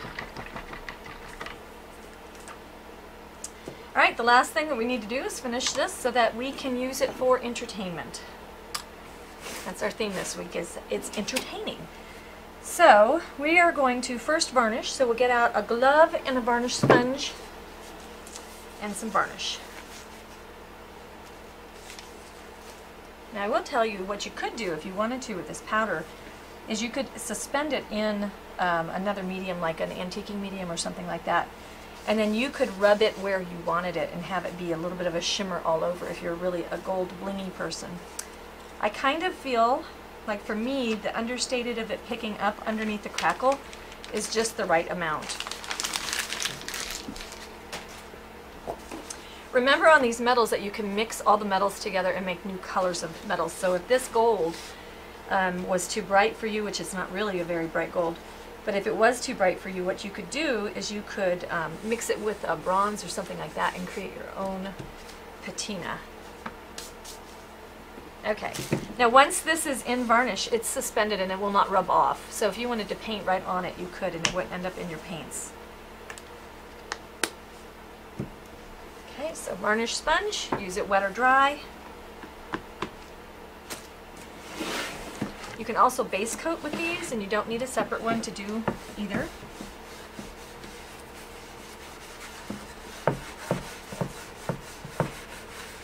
Okay, just rub it on. And what's neat about it is you go so fast you don't get any of those pull marks. Wash it out with cold water.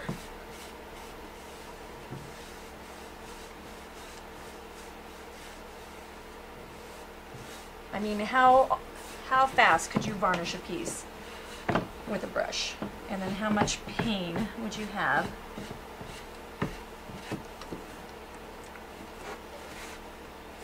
All right, there's that. I'm going to put my varnish sponge in water to wait. We've got one more step to do and we are done. Okay, our final step, a couple coats of varnish, let them dry and cure, and then you're going to use beeswax. Whoops. Beeswax on your piece. And the reason you're going to use beeswax is because it is the hardest finish that you can have.